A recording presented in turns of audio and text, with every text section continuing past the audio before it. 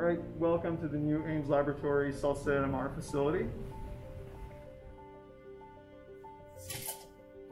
So going in here, what we have is a dynamic nuclear polarization instrument.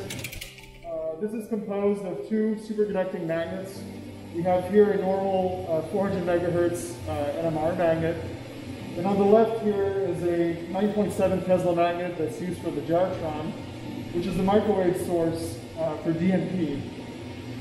So the microwaves are produced by the gyrotron and travel down this waveguide here and enter the probe at the base of the magnet. And that's what's used to improve the sensitivity of NMR uh, using DNP. If we move uh, through this area here, so these are other uh, NMR uh, instruments. We have a 400 megahertz NMR system here, as well as a 600 megahertz NMR instrument uh, in the back.